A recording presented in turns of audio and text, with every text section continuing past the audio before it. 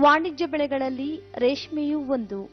ಇತ್ತೀಚೆಗೆ ಇದರ ವಿಸ್ತೀರ್ಣ ಜಾಸ್ತಿಯಾಗುತ್ತಿರುವುದರಿಂದ ರೇಷ್ಮೆಗೂಡು ಉತ್ಪಾದನೆಯಲ್ಲಿ ಗಣನೀಯ ಹೆಚ್ಚಳ ಕಾಣುತ್ತಿದ್ದೇವೆ. ರೇಷ್ಮೆ ಕೃಷಿಯನ್ನ ವೈಜ್ಞಾನಿಕವಾಗಿ ಮಾಡಿದಲ್ಲಿ ಗುಣಮಟ್ಟದ ಗೂಡು ಪಡೆದು ಒಳ್ಳೆಯ ಲಾಭ ಗಳಿಸಬಹುದು. ಅಂದರೆ ಪ್ರಾರಂಭದ ಹಂತದಿಂದ ಗೂಡು ಕಟ್ಟುವವರೆಗೂ ಹುಳುಗಳನ್ನು ಚೆನ್ನಾಗಿ ನೋಡಿಕೊಳ್ಳಬೇಕು. ಇದಕ್ಕೆ ಪೂರಕವಾಗಿ ರೇಷ್ಮೆ ಹುಳು ಸಾಕಣೆಯಲ್ಲಿ ಸೋಂಕು ನಿವಾರಣೆ ಪ್ರಮುಖವಾದುದು. ಇಂತಹ ಸೋಂಕು ನಿವಾರಣೆಯನ್ನ ರೇಷ್ಮೆ ಬೆಳೆಗಾರರು ಕೈಗೊಂಡು ರೇಷ್ಮೆ ಹುಳುಗಳ ಆರೈಕೆ ಮಾಡುವ ಕುರಿತು ರೇಷ್ಮೆ ಇಲಾಖೆಯ ಅಧಿಕಾರಿಗಳಿಂದ ಈಗ ಮಾಹಿತಿ.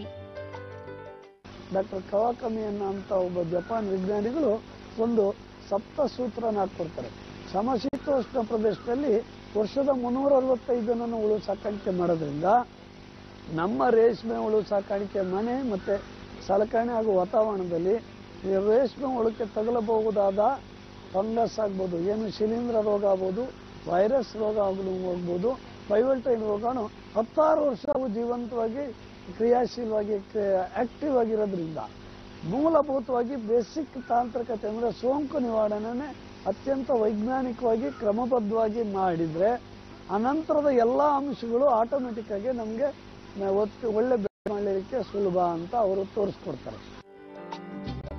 ಸೋಂಕು ನಿವಾರಣೆಯನ್ನ ಸೂಕ್ತ ಕಾಲದಲ್ಲಿ ಅಂದರೆ ಚಾಕಿ ಹುಳು ತರುವ ಮುಂಚೆ ಮತ್ತು ರೇಷ್ಮೆ ಬೆಳೆ ಮುಗಿದ ನಂತರ ಕೈಗೊಂಡು ಹುಳು ಸಾಕುವ ಮನೆಯನ್ನ ಸ್ವಚ್ಛವಾಗಿಟ್ಟುಕೊಳ್ಳಬೇಕು.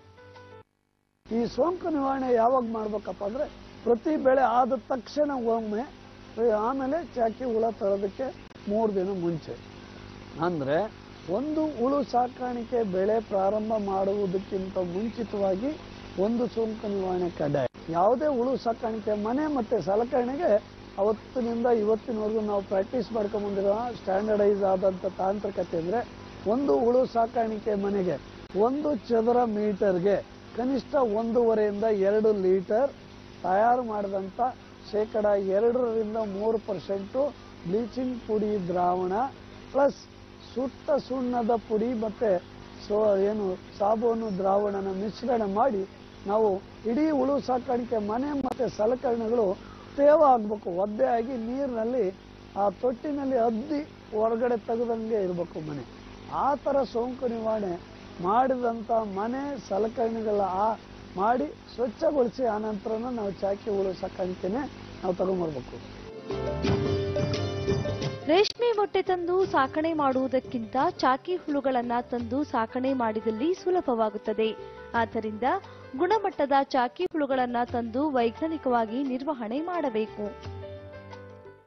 ವೈಜ್ಞಾನಿಕವಾಗಿ ಚಾಕಿ ಹುಳನ ಎಳೆ ಮರಿನ ಅಂದ್ರೆ ಮೊಟ್ಟೆನೆ ಕ್ರಮಬದ್ಧವಾಗಿ ಉತ್ಪಾದನೆ ಮಾಡೋ ಗುಣಮಟ್ಟದ ಮೊಟ್ಟೆಗಳನ್ನ ನಮ್ಮ ಬಿತ್ತನೆ ಕೋಟಿಗಳಲ್ಲಿ ಅಥವಾ ಎನ್ ಎಸ್ ಎಸ್ ಅಥವಾ ಕೇಂದ್ರ ಸರ್ಕಾರ, ರಾಜ್ಯ ಸರ್ಕಾರದ ಬಿತ್ತನೆ ಕೋಟೆಗಳು ತಂದು ಅವು ಪರಿಪಾಕಿಸಿ ಅವರು ಚಾಕಿ ಸಾಕಾಣಿಕೆ ಮಾಡ್ತಾ ಇದ್ದಾರೆ.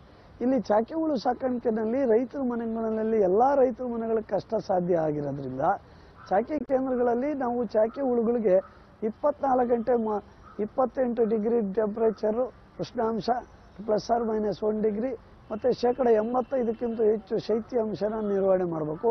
ಮತ್ತೆ ರಸಭರಿತವಾದ ಚಾಕಿ ಸೊಪ್ಪನ ಚಾಕಿ ತೋಟನ ಪ್ರತ್ಯೇಕವಾಗಿ ನಿರ್ವಹಣೆ ಮಾಡಬೇಕು. ಈಗ ಚಾಕಿ ತೋಟ ಹೇಗಪ್ಪ ಅಂದ್ರೆ ಒಂದು ಎಕರೆ ಇಪ್ಪತ್ತೇಳೆ ತೋಟಕ್ಕೆ ನಾವು ಇಲ್ಲಿ ಅಮೋನಿಯಂ ಸಲ್ಫೇಟ್ ಕೆಮಿಕಲ್ ಗೊಬ್ಬರನ ಅಂದ್ರೆ ರಸಗೊಬ್ಬರಗಳನ್ನ ಕಡಿಮೆ ಮಾಡಿ ನಾವು ಸಾವಯವ ಗೊಬ್ಬರಗಳನ್ನ ಆಲ್ಮೋಸ್ಟ್ ಡಬಲ್ ಮಾಡಬೇಕು. ಒಂದು ಎಕರೆಗೆ ಎಂಟರಿಂದ ಹತ್ತು ಟನ್ ನಾವು ಕೊಟ್ಟಿಗೆ ಗೊಬ್ಬರನ ದೊಡ್ಡ ಹುಳು ಸಾಕಾಣಿಕೆ ಬೆಳೆಗಳಿಗೆ ಹೇಳಿದ್ರೆ ಇಲ್ಲಿ ಚಾಕಿ ಹುಳುಗಳಿಗೆ ಅದನ್ನ, ಹದಿನೆಂಟರಿಂದ ಇಪ್ಪತ್ತು ಟನ್ ಕೊಟ್ಟಿಗೆ ಗೊಬ್ಬರನ ನಾವು ಕೊಡಬೇಕಾಗುತ್ತೆ. ಪ್ರತಿ ಬೆಳೆಗೆ ಒಂದು ಕಂತಲ್ಲಿ ಕೊಟ್ಟರೆ ಇನ್ನು ಅತ್ಯಂತ ಸೂಕ್ತ. ಅದರ ಜೊತೆಗೆ ಎಲ್ಲ ಹಸಿರೆಲೆ ಗೊಬ್ಬರಗಳು ಮತ್ತೆ ಸಾವಯವ ಗೊಬ್ಬರಗಳನ್ನ ಬಳಕೆ ಮಾಡೋದು ಜೈವಿಕ ಗೊಬ್ಬರಗಳನ್ನ ಸೂಕ್ತ. ರೇಷ್ಮೆ ಹುಳುಗಳಿಗೆ ಮಾರುಕಟ್ಟೆಯಲ್ಲಿ ಸಿಗುವ ವಿವಿಧ ಸೋಂಕು ನಿವಾರಕಗಳನ್ನು ಬಳಸಿಕೊಂಡು ಸೂಕ್ತ ಸಮಯದಲ್ಲಿ ಹಾಸಿಗೆ ಸೋಂಕು ನಿವಾರಣೆ ಕೈಗೊಳ್ಳಬೇಕು. ವೈಜ್ಞಾನಿಕವಾಗಿ ಸಾಕಾಣಿಕೆ ಮಾಡಿದ ಚಾಕಿ ಹುಳ ತಂದು ದೊಡ್ಡ ಹುಳುನ ರೈತರು ನಮ್ಮ ಹುಳು ಸಾಕಾಣಿಕೆ ಮನೆಯಲ್ಲಿ ಸಾಕಾಣಿಕೆ ಮಾಡುವಾಗ ಸ್ಥಳಾವಕಾಶ ಕೂಡ ಬಹಳ ಪ್ರಮುಖವಾದ ಪಾತ್ರನ ವಹಿಸ್ತದೆ. ಈಗ ನೂರು ಮೊಟ್ಟೆ ಹುಳು ಸಾಕಾಣಿಕೆನೇ ನಾವು ಬೈವಲ್ಟೈನ್ ಹುಳು ಸಾಕಾಣಿಕೆನೇ ಮಾಡ್ತೀವಿ ಅಂದರೆ ಎರಡು ಜೋ, ಎರಡನೇ ಜ್ವರದಿಂದ ಎದ್ದಂಥ ಹುಳನ ಅಥವಾ ಎರಡು ಜ್ವರದಲ್ಲಿದ್ದಂಥ ಹುಳನ ನಾವು ತಗೊಬಂದು ನಮ್ಮ ಹುಳು ಸಾಕಾಣಿಕೆ ಮನೆಯಲ್ಲಿ ಹರಡಿ ನಾವು ಹಾಸಿಗೆ ಸೋಂಕು ನಿವಾರಕನ ಧೂಳೀಕರಿಸಿ ನಾವು ಜ್ವರದಿಂದ ಎದ್ದ ಹುಳನ ಎಬ್ಸಿದ ಮೇಲೆ ಎಳೆ ಸೊಪ್ಪು ಕೊಟ್ಬಿಟ್ಟು ಸ್ಥಳಾವಕಾಶ ಜಾಸ್ತಿ ಮಾಡ್ತೀವಿ.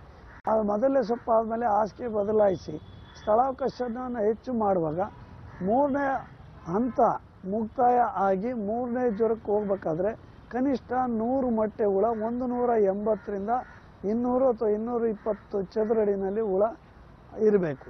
ಆ ರೀತಿ ಸ್ಥಳಾವಕಾಶನ ನಾವು ನೀಡಬೇಕಾಗುತ್ತೆ. ಜೊತೆಗೆ ಅದೇ ರೀತಿ ಮೂರನೇ ಜ್ವರದಿಂದ ಎದ್ದಂಥ ಹುಳುಗಳಿಗೆ ನಾವು ನಾಲ್ಕನೇ ಹಂತ ಮುಕ್ತಾಯ ಹಂತ ಅಂದಾಗ ನಾವು ಕನಿಷ್ಠ ನಾನ್ನೂರು ಚದುರಡಿನಲ್ಲಿ ನೂರು ಮಟ್ಟೆ ಹುಳ ಇರಬೇಕು.